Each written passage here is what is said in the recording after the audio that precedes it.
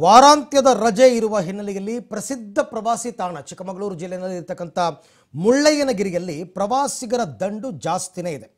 Hotel home stay ರೆಸಾರ್ಟ್ಗಳೆಲ್ಲವೂ ಕೂಡ ಭರ್ತಿಯಾಗಿವೆ. ಮುಳ್ಳಯ್ಯನಗಿರಿ ಬೆಟ್ಟದ ರಸ್ತೆಯಲ್ಲಿ ಕಾರುಗಳು ಸಾಲಾಗಿ ನಿಂತಿವೆ. ಸೊ, ಅಲ್ಲಿ ಹೇಗಿದೆ ಪರಿಸ್ಥಿತಿ ಅನ್ನೋದಕ್ಕೆ ಸಂಬಂಧಪಟ್ಟಂತೆ ನಮ್ಮ ಚಿಕ್ಕಮಗಳೂರು ಪ್ರತಿನಿಧಿ ನಾರಾಯಣಗೌಡ ನೀಡಿರತಕ್ಕಂಥ ಒಂದು ಪ್ರತ್ಯಕ್ಷ ವರದಿ ಇದೆ. ನೋಡೋಣ. ರಾಜ್ಯಾದ್ಯಂತ ದಿನದಿಂದ ದಿನಕ್ಕೆ ಓಮಿಕ್ರಾನ್ ಭೀತಿ ಹೆಚ್ಚಾಗ್ತಾನೆ ಇದೆ. ಆದರೆ ಕಾಫಿನಾಡಿಗೆ ಬರ್ತಿರುವಂಥ ಪ್ರವಾಸಿಗರ ಸಂಖ್ಯೆ ಕೂಡ ಅಷ್ಟೇ ಪ್ರಮಾಣದಲ್ಲಿ ಏರಿಕೆ ಆಗ್ತಿದ್ದು. ಬರ್ತಿರುವಂಥ ಪ್ರವಾಸಿಗರು ಜಿಲ್ಲೆಯ ಸೌಂದರ್ಯಕ್ಕೆ ಮಾರು ಹೋಗ್ತಿದ್ದಾರೆ. ಆದರೆ ಕೊರೋನಾದಿಂದ ಮುಂ ಕೊರೋನಾಕ್ಕೋಸ್ಕರ ಕೈಗೊಳ್ಳಬೇಕಾದಂಥ ಮುಂಜಾಗ್ರತಾ ಕ್ರಮಗಳನ್ನು ಕೈಗೊಳ್ತಲೇ ಇರೋದು ನಿಜಕ್ಕೂ ಜಿಲ್ಲಾದ್ಯಂತ ಜಿಲ್ಲೆಯ ಜನರಲ್ಲಿ ಒಂದು ರೀತಿ ಆತಂಕ ಸೃಷ್ಟಿ ಮಾಡಿದೆ ಅಂತಲೇ ಹೇಳ್ಬೋದು. ಯಾಕೆಂದರೆ ನಾನೀಗ ಆ ರೀತಿಯಾದಂಥ ಒಂದು ಮುಳ್ಳಯ್ಯನಗಿರಿ ಗುಡ್ಡ, ಗುಡ್ಡದ ತುದಿಯಲ್ಲೇ ಇದ್ದೀನಿ, ನೋಡ್ಬೋದು ಇಲ್ಲಿ. ವೀಕೆಂಡ್ ಆಗಿರೋದ್ರಿಂದ ಇವತ್ತು ಸಾವಿರಾರು ಜನ ಚಿಕ್ಕಮಗಳೂರು, ಮುಳ್ಳಯ್ಯನಗಿರಿ ಭಾಗಕ್ಕೆ ಭೇಟಿ ನೀಡಿರುವಂಥದ್ದು. ಅಂತಂದರೆ ಬೆಳಿಗ್ಗೆಯಿಂದನೂ ಕೂಡ ಈವರೆಗೆ ಸುಮಾರು ಒಂದು ಮುನ್ನೂರರಿಂದ ನಾನ್ನೂರು ಕಾರ್ಗಳಲ್ಲಿ ಸುಮಾರು ಎರಡು ಸಾವಿರಕ್ಕೂ ಅಧಿಕ ಪ್ರವಾಸಿಗರು ಈಗಾಗಲೇ ಮುಳ್ಳಯ್ಯನಗಿರಿ ಭಾಗ ಒಂದಕ್ಕೆ ಭೇಟಿ ನೀಡಿರುವಂಥದ್ದು. ಬಂದಿರೋಂಥ ಬಹುತೇಕ ಪ್ರವಾಸಿಗರಲ್ಲಿ ಯಾರೊಬ್ಬರು ಕೂಡ ಮುಖಕ್ಕೆ ಮಾಸ್ಕ್ ಧರಿಸ್ತಲೇ ಇರುವಂಥದ್ದೇ ಹೆಚ್ಚಿರುವಂಥದ್ದು. ಮತ್ತು ಸಾಮಾಜಿಕ ಅಂತರ ಕೂಡ ಸಂಪೂರ್ಣವಾಗಿ ಗಾಳಿಗೆ ತೂರಿದ್ದಾರೆ.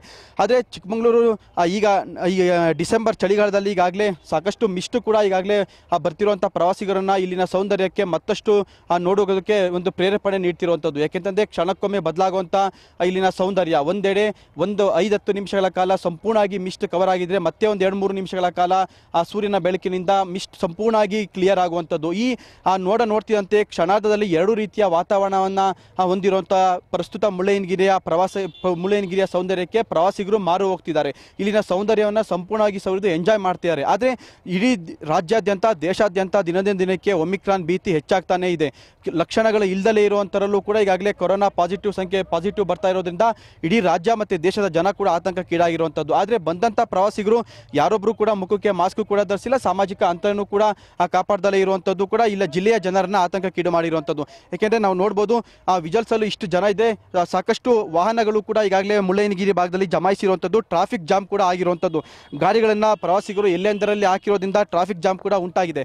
ಆದರೆ ಈಗ ಈಗ ಡಿಸೆಂಬರ್ ತಿಂಗಳಲ್ಲಿ ಮುಳ್ಳಯ್ಯನಗಿರಿ ನೋಡೋದಕ್ಕೆ ತುಂಬ ಸುಂದರವಾಗಿರುವಂಥದ್ದು ಯಾಕೆಂತಂದರೆ ಇಲ್ಲಿನ ಸೌಂದರ್ಯನೂ ಕೂಡ ಮುಗಿಲೆತ್ತರದ ಬೆಟ್ಟ ಗುಡ್ಡಗಳು ಪ್ರವಾಸಿಗರನ್ನ ಕೈ ಬೀಸಿ ಕರಿತಾ ಇರೋದು ಕೂಡ ಅಷ್ಟೇ ಪ್ರಮಾಣದಲ್ಲಿ ಆ ಸತ್ಯ ಕೂಡ ಇರುವಂಥದ್ದು ಆದರೆ ಬಂದಂಥ ಪ್ರವಾಸಿಗರು ಈಗಿರುವಂಥ ವಾತಾವರಣ ಈಗಿರುವಂಥ ಪರಿಸ್ಥಿತಿ, ರಾಜ್ಯ, ದೇಶ ಯಾವ ರೀತಿ, ಯಾವ ಪರಿಸ್ಥಿತಿನಲ್ಲಿ ಇದೆ ಅನ್ನೋ ನಿಟ್ಟಿನಲ್ಲಿ ಯೋಚನೆ ಮಾಡಿ ಜನಸಾಮಾನ್ಯರು ಬಿಹೇವ್ ಮಾಡಬೇಕಾದಂಥ ಸ್ಥಿತಿ ನಿರ್ಮಾಣ ಆಗಿರುವಂಥದ್ದು ಆದರೆ ಬಂದಂಥ ಪ್ರವಾಸಿಗರು ಆ ರೀ, ಆ ರೀತಿಯ ನಿಟ್ಟಿನಲ್ಲಿ ಯಾವುದೇ ರೀತಿಯಾದಂಥ ಒಂದು ಯೋಚನೆ ಮಾಡ್ತಿಲ್ಲ.